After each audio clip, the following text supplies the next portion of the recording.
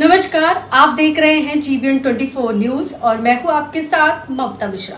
सरायकेला जिला के गम्हरिया प्रखंड कार्यालय में आदित्यपुर नगर निगम के पार्षदों के साथ सरायकेला अनुमंडल पदाधिकारी रामकृष्ण कुमार ने एक बैठक की। कार्यक्रम का मुख्य उद्देश्य पूरे अनुमंडल क्षेत्र में मौजूद मतदाताओं के वोटर कार्ड को आधार कार्ड से लिंक कराना था, जिसे संपूर्ण करने में गम्हरिया प्रखंड काफ़ी पीछे रहा है। और जिसे शीघ्र से शीघ्र पूरा करने के लिए अनुमंडल पदाधिकारी ने तमाम पार्षदों को हिदायत दी है।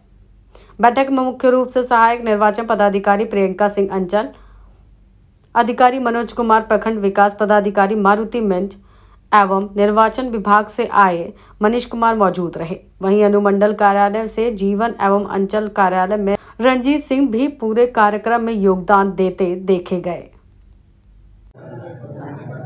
आज गमरिया ब्लॉक कार्यालय में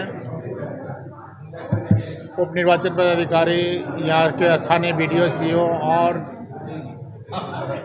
यहाँ के माननीय पार्षदों के साथ जो एक बैठक की गई सभी के बीच में। इसका मुख्य बिंदु दो था। एक तो था कि भारत निर्वाचन आयोग के द्वारा जो आधार सीडिंग का कार्य किया जा रहा है, इसमें कैसे और तेज़ी हम लोग करें। कैसे इसको अच्छी तरीके से संपादन करें। और दूसरा मुद्दा था कि जो छोटे बड़े जो बेनिफिशियरी हैं, जिनको भी जो है आहरता रखते हैं पेंशन इत्यादि का, उनको भी जो है हंड्रेड परसेंट हम लोग कर लें। इसी दो बिंदु पे हम लोगों ने आज यह बैठक रखी थी और बहुत सार्थक रूप से जो है चर्चाएँ हुई। सभी माननीय पार्षदों का जो है पूर्ण सहयोग करने का जो है आश्वासन मिला।